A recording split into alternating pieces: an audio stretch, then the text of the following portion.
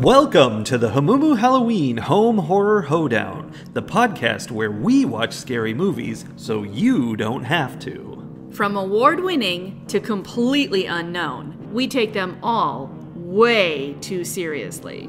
I'm your host, Mike Hommel. And I'm your host, Solange Hommel. Now, warning, we use a ghoulish number of spoilers, so watch the movies first. Second warning, we don't know anything about anything, so don't take us seriously as we take these movies seriously. What movie are we talking about today, Mikey? Well, you should know that because we were just at the movie theater watching this uh, I'm movie. do we only watch movies in theaters now? Yes. How exciting. That's the only thing we do with our lives now. Well, I think today proved that if we only watch movies in theaters, we are going to rapidly run out of movies that are actually horror movies. I think it, I think your monster from 2024 actually proved that we've already run out of movies that are horror movies. at least the first 90% of the movie did. Did it indeed?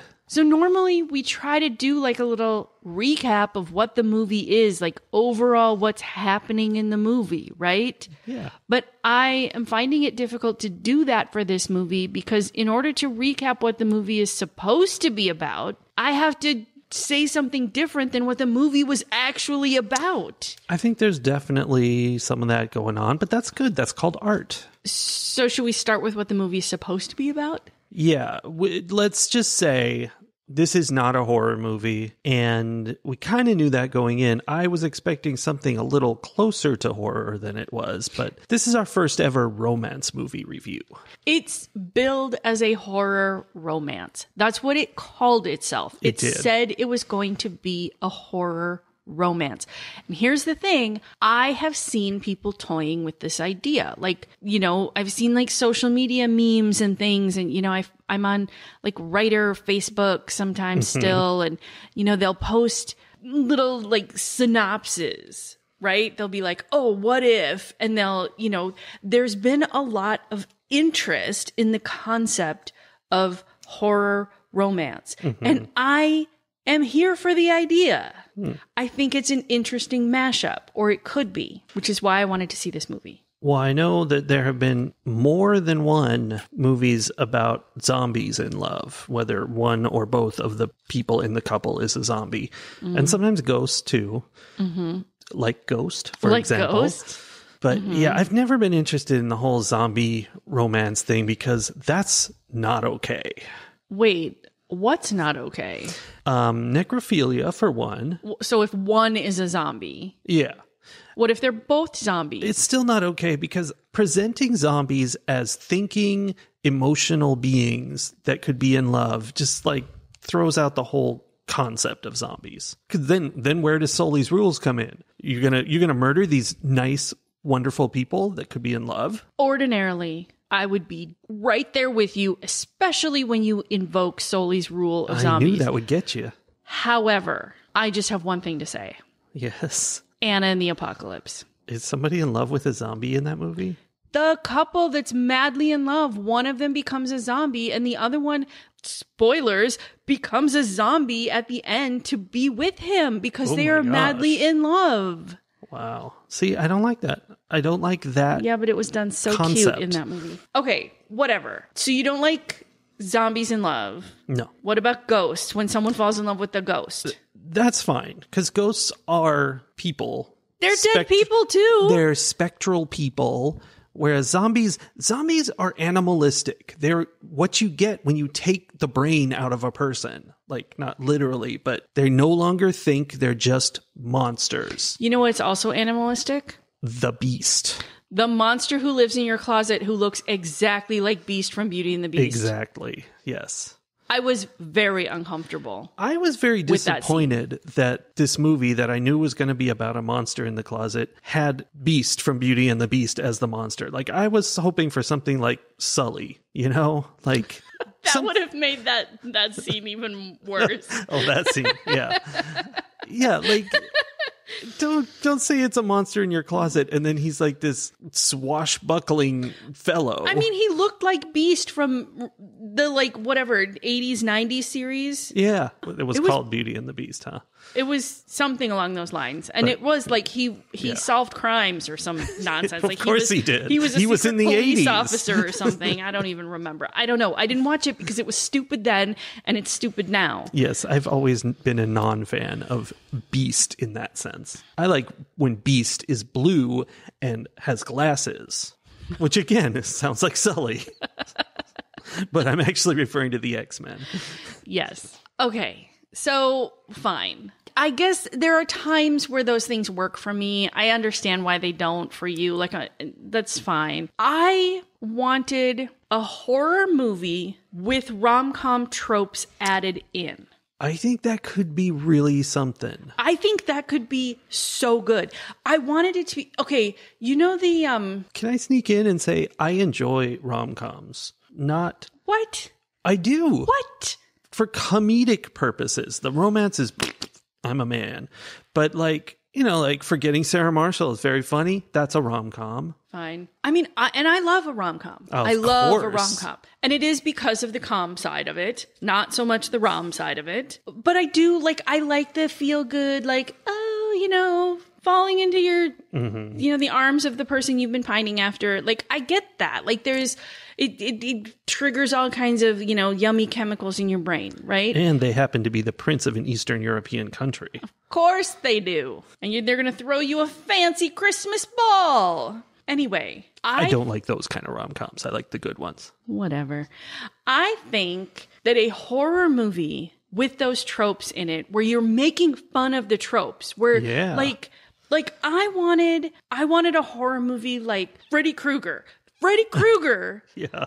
But the girl keeps falling in love with him, and he's just like so annoyed by it because he's just trying to do his job, and she won't leave him alone. Yeah. That's a funny And horror She's taking romance. sleeping pills so that she can dream. And he, Yes, and he's like, I have other people to murder. boundaries.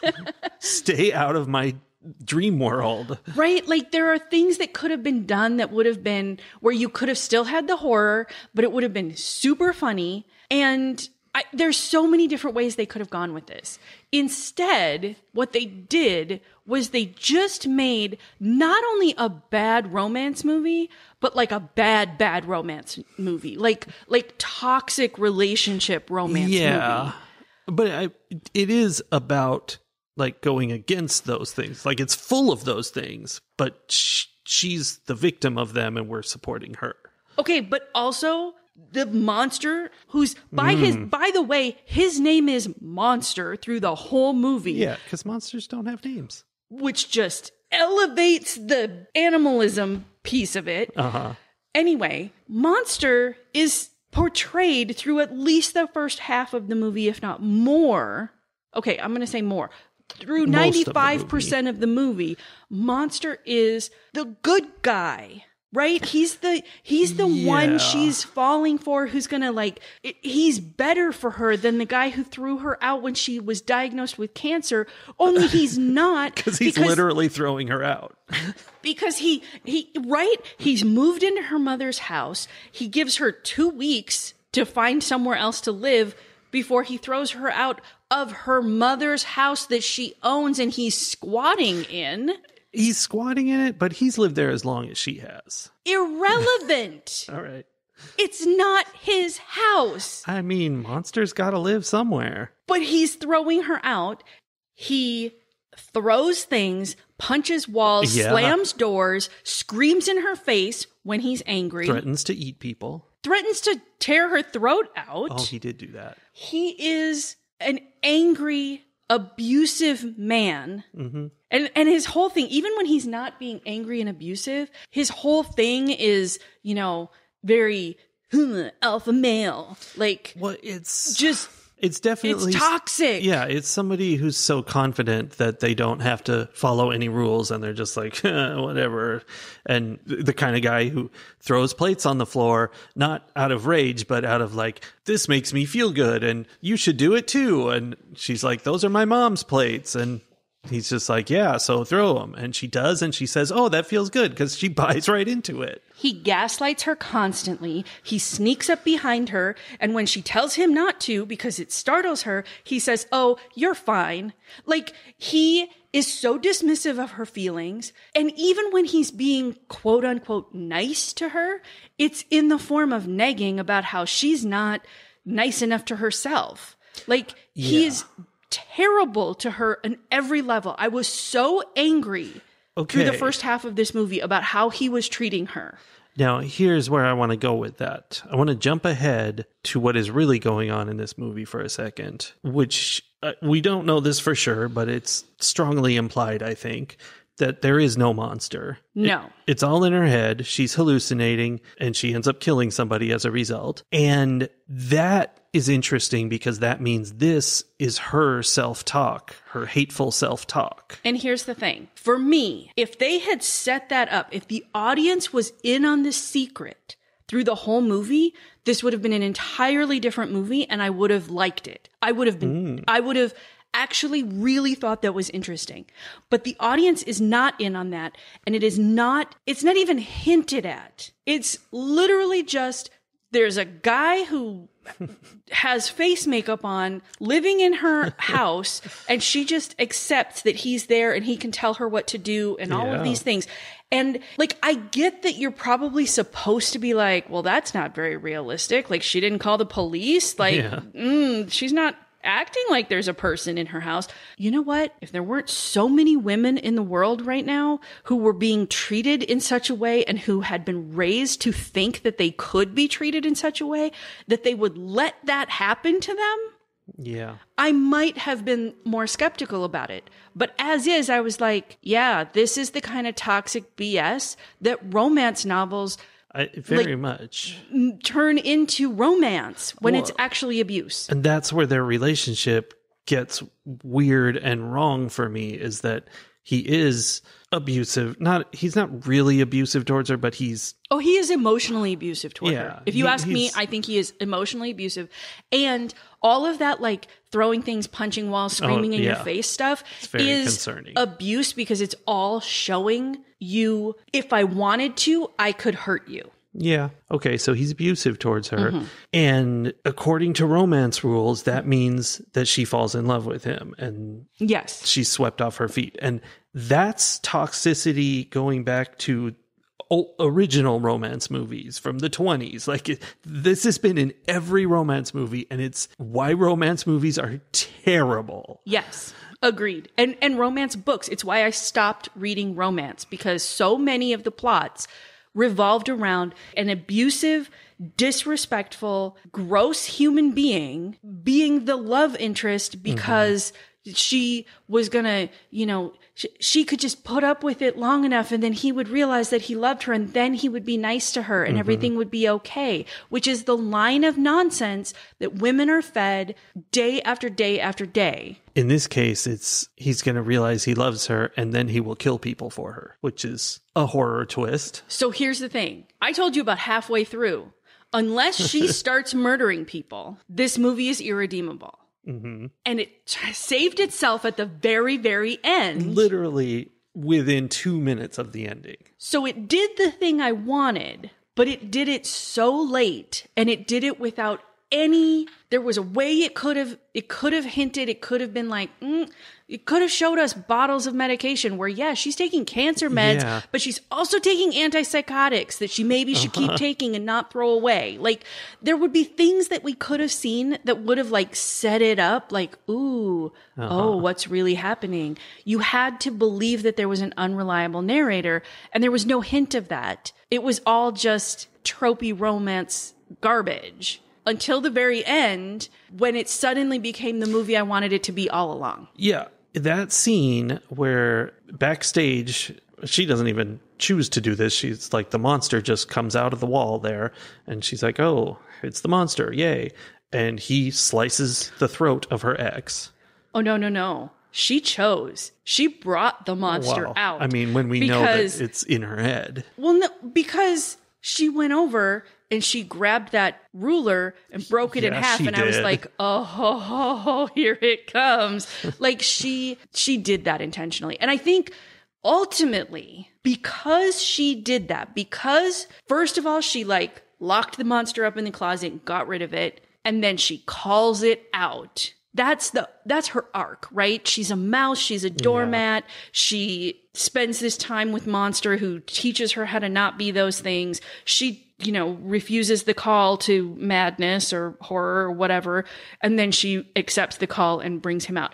That's her arc. Mm-hmm. If that had been the story for real, like if that had really happened in this movie in a way that didn't make me sit there and wait for an hour and a half to get to it, that would have been a good movie. Yeah. That's why that that last scene she's belting out a Broadway song Mm-hmm. with blood all over her shirt and uh, halfway through the song the camera pulls back so you can see that there's her ex-boyfriend's dead body on the ground with a pool of blood and the whole audience is watching it. That was unbelievably unrealistic. They all waited for the entire song before they were like, oh, "What's happening?"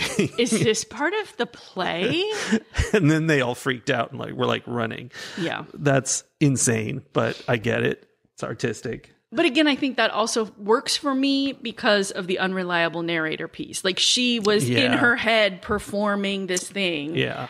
that was really the reason why she killed him in the first place. So, like, I, that had, you know, um, Into the Woods musical feel to it. Like, every once in a while, it would get this Broadway musical feel, but most of the time it was just Yeah. I- bad Hallmark. there was shortly before that. So she was not supposed to be in the play. He had fired her. She was going to be in the play as a side character, but he fired her because she went nuts on him and said terrible things to him. Him being the director, her ex boyfriend created this play with her, told her she was going to be the main character, then dumped her when she had cancer. Mm-hmm. So great guy.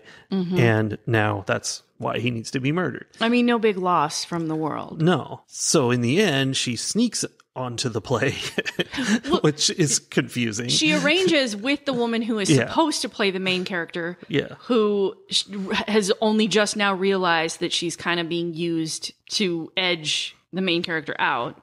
Yeah. She arranges to switch places with her because she's supposed to be the understudy, and you know, so the other woman lets her take the role Oh, except she's not the understudy anymore No, because she's she got fired. because she lost her mind during Uh-huh. a rehearsal. so she's performing the play, and that part was good too. It was like you know, it was, we were seeing the play, but not in order. It was just kind Mm-hmm. of a montagey mess. But still, what's with all the people working on the play who are just like going along with it and like okay? And then at, at the intermission, the guy who was playing opposite her is like, "Laura, what are you doing here?" like. Mm-hmm. it, you didn't realize it was her till now? I don't know. I mean, obviously the show must go on. Obviously, But then her ex is like, You're performing it totally different than the play I invented. And I don't think she was. I think she was doing the play. Here's the thing. I don't think we ever really saw the play that he wrote because I suspect, given the hmm. character that he is, the play he wrote Oh. had no empowered females in it at all. we should discuss what this play is about. because like I'm pretty sure the whole like it was very male gaze in that there were all of these, you know, schoolgirls in short skirts being reprimanded by their headmaster. So I think, you know, he what did he call it? The It was something like the school for good girls. It was something of good girls or for good girls. Yes, and during one of the like the the first table read, he's like talking about how it's about women empowerment and Uh-huh. Yeah. whatever. There was no women empowerment in it. Yeah, it was a real, you know, uh wannabe liberal kind of thing. Like Yes. yeah. But when she started playing it, because she was playing it from her place of being empowered, like I think By the she, monster. By a man. right? Why is why is the powerful part of her brain a man? Yeah, you know, actually, that could have been a whole different relationship. Right? Right. Imagine how different and more interesting this movie could have been if we thought she was falling in love with the female monster in her closet and then we realize that it's her Uh-huh. They probably wanted to do that, but they couldn't figure out how to make a monster that was female because it wouldn't have looked like the guy from Beauty and the Beast. it makes me angry that they took a premise that should have been so good. Like the idea that like this guy dumped her she put all this effort into making his mm-hmm. play work he just bailed as soon as she got sick and also is giving her no credit for the work that she put into it and is sleeping with her best friend and and she also has this side story of realizing that her best friend is not a good friend and confronting her about that which is I liked and de- realizing that she and the other um, actress who gets the main role are being pitted against each other and they figure it out and they like Team up. yes like there were good things about this but ugh, Yeah. I, I, and that's what I see. Like, I was kind of enjoying it because of those things. And I'm like, but then what's with this monster? And why is he like this? Because it, her ex was like that. He was absolutely horrible. He was the extremely over the top, nasty guy ex mm-hmm. that's in every rom com. And mm-hmm. that was really fun knowing that, you know, he was going to get, well, we didn't know he'd get murdered, but it was likely. And that was fun. Like that was the thing. But then there's this whole romance with somebody who's just as toxic and that was confusing. Yeah. And she was I, I i understand why they did this part of it. They were trying to show the arc that she was going through but she was so so pathetic at the beginning. Yes she was. And i didn't mind. It was fine.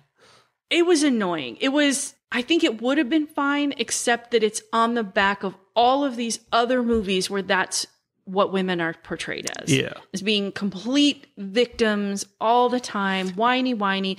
You know, the kinds of characters that the dude bros on IMDb say, like, oh, well, I'm not surprised he left her when she got cancer. She seemed a little needy to me. Yes. Like, Uh, it's quoted from an actual review i saw on imdb it's just it's the offensive woman stereotype uh-huh that is so prevalent but then also we're all criticized for being like that even though we're all told to be like that by every form of media we are fed our whole lives. But to be fair that is the arc here you know. She is walked all over and she finds her strength via murder. And only because a quote unquote man taught her. And I get I'm I'm I'm putting the quotes around it because now we know that the beast wasn't really a man, it was her. But why did it have to be a man through the whole movie? Like really she couldn't we couldn't have given her the agency to come up with these things on her own. We had to couch them into a male Yeah. character. I'm so angry about this movie. Yeah, I, I think that's a really valid complaint. And the idea of it, if it were just a female monster instead, that would have been a big change. Although her her behavior would also have to change, but I think it would just because of Hollywood stereotypes. I think they could have kept a lot of it, actually. Oh, it's okay when women do it.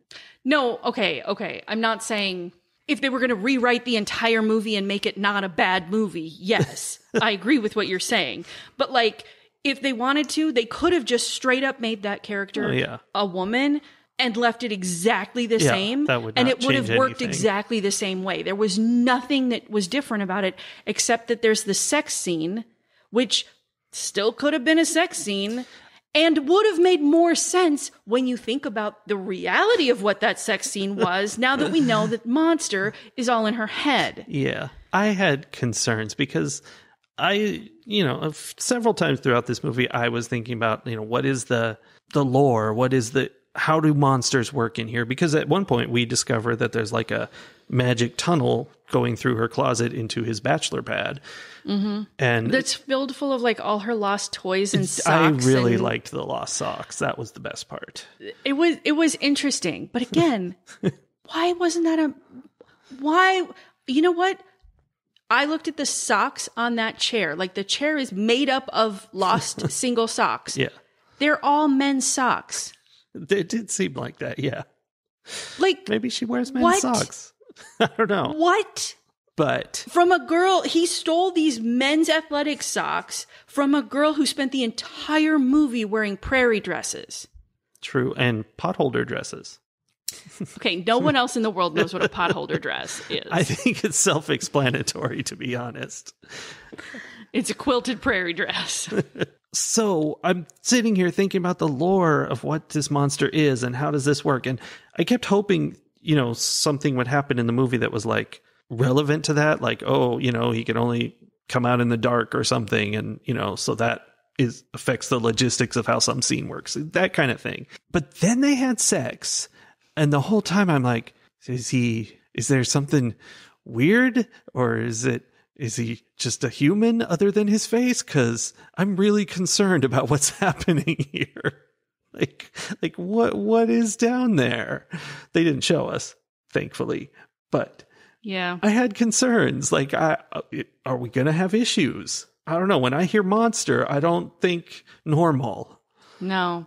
Also, then she went to have blood work done, and I was like, oh, here's an interesting Oh, moment. I didn't think of that at all. Yeah. She's going to have half monster kids. She's not going to have any kids. Oh. Because there was only one person in that room. What? Twist? It enrages me that, that they took this idea that could have been done in such an amazing way and they just did it so badly that they ruined it and that they ruined it so hard that the next time a horror hmm. romance shows up at the theaters, no one is going to go see it. Fun fact we were the only two people in this theater. Yes. so, yeah. So it's already a hard sell. But I think it could, if it had been done well, it that could become a thing. But it was not. A film that keeps coming to mind as we talk about this is Tragedy Girls, which we gave very high ratings to. Mm-hmm. Not a romance, but definitely a horror comedy. And it was about this relationship between the two girls who were serial killers. And It was like a horror buddy comedy. yeah, Like and it was really horrific because they were Michael Myers type killers and they mm-hmm. were cutting everybody up. And it's very different from this, but also it's kind of the same a colorful light version with the gore. like a bigger than life Yeah. characters story, that sort of thing. Yeah. And that also had like a stage musical energy to it. Yeah, yeah, because it's very over the top. And that that's where this needed to go. Like she needed to kill. She should have killed her friend. She should. She did kill her ex. Um, I don't know if there was anybody else she needed to kill, but they should have fixed the story so there were other people she needed to kill. And you know, have it go on a whole thing. And then the cops are after her, and she's having to deal with that. That's one of the things that I would have done. Like I was trying to think as I was watching it, I was like, what would I prefer to this? Because this is not fun to watch.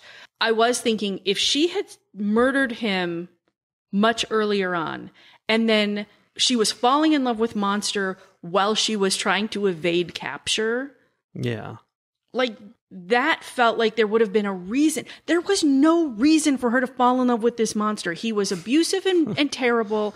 There was not one thing that that should have made her fall in love with this other character. He was charming. He wasn't. I kept for the early part of the movie. I was like, "That's not Ryan Reynolds, is it?" Because he had a very Ryan Reynolds style of being, with all, all like the sarcastic comments and stuff. It was like she was falling in love with Deadpool. So obviously, Okay. love. but hear me when I say Deadpool is a better person than Monster. That's terrifying. right? this is what I'm saying. Like when you dig down into these characters, Deadpool is chaotic and doesn't care about any laws or rules, right? He is total and utter chaos, but he has a moral code that he mm-hmm. follows that makes some kind of sense. Like he would have s- sought vengeance for the way this woman was treated, perhaps, but he wouldn't have negged the woman while he was doing it. Well, and that's just uh, another thing in this movie is that he he kept getting revenge for her. Like that was his whole thing, and that isn't great. like, like I he mean- he protects her in the form of hurting other people. Right. I mean, really, it, that's that part actually makes sense once you know what's really going on. Yeah. And uh, you know what? Even if it wasn't that, even if he Beast was a or monster was a real thing, and he decided, oh, you know, the alternative could have been that monster was Sully, the monster from her closet from when she was a kid, who she developed some kind of relationship with, and they bonded in some way. And so now when she's being hurt, he comes out and seeks to avenge her. Like imagine if you took Monsters Inc. and made it like an actual horror movie. Yeah. That would be an interesting movie. Well, and like so many other movies having that element of he's a monster, he he sees her getting hurt and he wants to tear people to pieces. And like in Venom or Terminator or one of those movies, her whole thing has to be pulling him back and like no, no, we don't kill people. We you know, you can tell him off or whatever, but just stop. and learning to stand up for herself and have a backbone without having to murder. Mhm. Like there's the story. Yeah. But you know what? I'm even okay with she becomes a murderer. Like I'm fine with Yeah, her being a a, non-hero. Ugh, it just was not. It was so bad. I don't. I can't. I don't even have anything more to say other than it was so bad. Ratings. we talked about the different kind of subplots here, you know, that basically the different people that wronged her, really. And it's like you said, there's an interesting story there to be told. And imagine this. Oh, imagine this. The whole movie being in the framework of the musical. Mm-hmm. The movie starts with the beginning of the musical being performed that night when she's taking over. And when the movie starts, you think she belongs in that role. It's not until much mm. later in the film, as they've cut back and forth between the musical and the events, that you see that she's actually sneaking on stage. And if I might add to this fantasy piece here, Yes, And- monster. we get to see the musical he actually wrote, which Mm-hmm. we, I think it, there was just the slightest little hint where we see that opening scene and she's all like, yes, headmaster, no, Uh-huh. headmaster. But we see a little more. We see fleshed out the trash play that he actually Yeah. wanted performed. I mean, that's like the whole thing. Like, uh, it's just one of those things that that middle aged white guys create where they're like, I'm being so feminist. And mm-hmm. because I think his real play is not about them being submissive, it is about her standing up and going, I'm not like that. You can't, you know, keep me down, but in a terrible way, in that And then she falls in love way. with the headmaster. Oh, of course. Yeah. Cause she, he turns around and is like, ah, you are so strong. It very grease like, right? Like yeah. Yeah. Okay, I'm I'm with you though. I think I I'm with you. Framework of the play. We don't know she's not supposed to be there. Oh it all gosh. unfolds. Now I'm really excited for that movie. There are so many ways this movie could have gone And that would would have been Most importantly, that movie would be a full on musical. Like Uh-huh. there'd be 10 songs. Uh huh. Yeah. So get Rachel Bloom, get on it. She would write this well. I, I hope she's listening to our podcast. I mean, obviously. I think she is. But that's not what we got. What we got had those ideas, but didn't really execute on any of them. Like like her friend being so dismissive to her and thinking she's doing a great job of being a friend. And then she disappears for two thirds of the movie before we even see her again, really.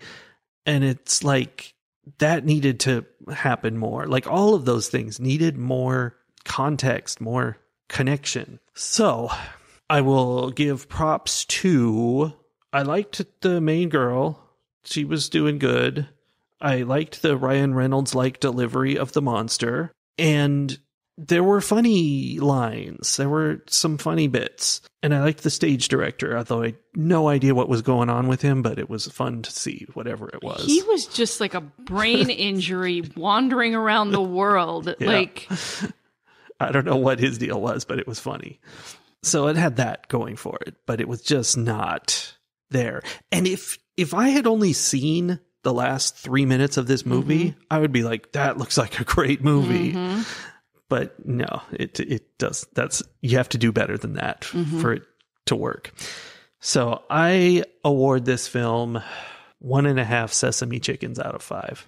okay. I thought of another way that it could have gone. Like there are Okay. so there are As long as it's a infinite musical. number- there are an infinite number of ways that it could have been better. It- it- this piece, you know, musical, not musical, whatever. Like it's it, within whatever. But if she had shown up there and this monster had been treating her the way he was treating her, and she over time started standing up to monster, Yeah, and being that's how like, you learn. dude that's my mother's china. Stop throwing it on the floor. Yeah. put that back in the cabinet. Like not going along with everything that he said but like starting to stand up against him and starting to be like you know what? You don't get to walk into the bathroom when i'm in here without knocking. Get the hell out. Yeah. get out. His whole thing was the classic toxicity of the romance genre, which I do not understand. And and so there's a way that she could have like grown in and of herself because of her interaction with him that then she could have used to interact differently with her toxic friend and her toxic ex and you know whatever. Yeah. and it still would have worked when we found out that monster didn't really exist because it would still make sense that she's the one who figured these things mm-hmm. out and she started standing up to the monster in her head. Like Yeah. Ugh. The- so the many ways this could have been better. Self talk monster. So there was a point probably halfway through the movie where I I realized that I was watching the movie, but I was watching it with like an angry scowl on my face. Like I was literally scowling at the movie, like it could see how disappointed I was in it. And I'm like, huh, I'm going to give this movie a zero. Like I, decided. I decided in that moment, I was like, yeah, this has all the hallmarks of every movie I have ever given a zero to. This is right there with it. This is a zero. And I had decided. And then I think I turned to you and I said, unless she starts murdering murdering people, this movie is irredeemable. You did. And then in the last five minutes of the movie, she murders someone. And it becomes the movie that I wanted it to be all along. So Sounds like five stars. Because they did the thing, I'm not going to give this movie a zero. Okay. But because I had to slog through all of the zero movie to get to the thing, Yeah. I am going to give this movie one half, Oh. 0.5. Once again, I'd like to point out that that is not one of our valid ratings. 0.5 sesame chickens out of 5 because truly this movie uh, it is not worth going through everything that I had to sit through to get to that piece. It's it's not worth it. I agree. I don't think people should watch this movie and frankly I don't think this movie should have been made. yeah. Well, it should have. We we have acknowledged that it absolutely should have. This movie shouldn't have been made. This m- movie should have been rewritten by people who could have made this storyline into a good movie. Yeah. I want a number of versions of this movie, but I do not want this one. It's just further evidence that we are living in the worst timeline. Well, we know that to be true. So, point five, Sesame Chickens. All right. Well, we only watch movies in the theater now, so we're going to go watch another one and come back and tell you about it. Okay, bye. Okay, bye.